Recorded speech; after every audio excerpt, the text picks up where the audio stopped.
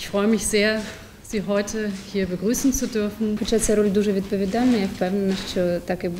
Es ging zum einen um die Situation der Familien, vor allem aber auch der Kinder hier in Deutschland. Es ging um Fragen der schulischen Bildung. Es ging um die Frage von Unterstützungsmöglichkeiten, auch um das Thema Barrierefreiheit. Das wird für die Ukraine auch in den kommenden Wochen und Monaten, auch in Zukunft ein noch größeres Thema werden als jetzt.